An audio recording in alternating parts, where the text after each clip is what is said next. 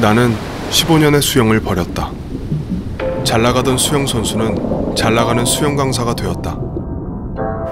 문득 겁이 났다. 수영 강사가 내 커리어의 끝일까?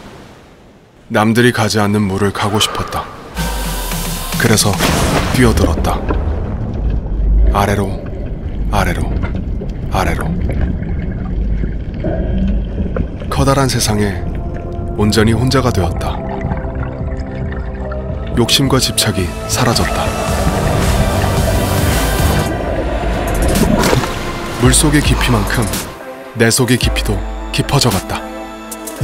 나는 꽤 깊은 사람.